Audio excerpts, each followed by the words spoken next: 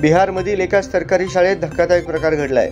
वर्गात इजा घालण्यास मनाई केल्यामुळे विद्यार्थिनींच्या कुटुंबियांनी शिक्षकांना धमकी दिली आहे मिळालेल्या माहितीनुसार बिहार राज्यात शेखपूर जिल्ह्यामध्ये असणाऱ्या चारू आवन भागातील उत्क्रामित माध्यमिक शाळेमध्ये हा धक्कादायक प्रकार घडलाय. शाळेचे मुख्याध्यापक सत्येंद्र कुमार यांनी या संदर्भात तक्रार केली आहे त्यांनी केलेल्या तक्रारीनुसार एकोणतीस नोव्हेंबर रोजी मुस्लिम मुलींच्या कुटुंबातील काही सदस्यांनी शाळेत घुसखोरी केली आणि शिक्षकांना धमकी दिली. शेखपूर जिल्हा शिक्षणाधिकारी ओमप्रकाश सिंह यांनी सांगितले की शिक्षकांनी मुलींना वर्गामध्ये हिजाब घालण्यास मनाई केली त्यामुळे कुटुंबीय रागावले.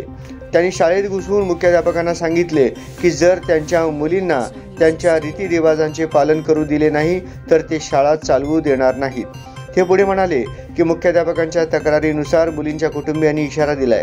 जर आमच्या मागणीकडे लक्ष नाही दिले तर त्यांचा शिरच्छेद केला जाईल. ओम प्रकाश सिंह यांनी या घटनेची गंभीर दखल घेत विभागीय स्तरावर चौकशी सुरू केली आहे.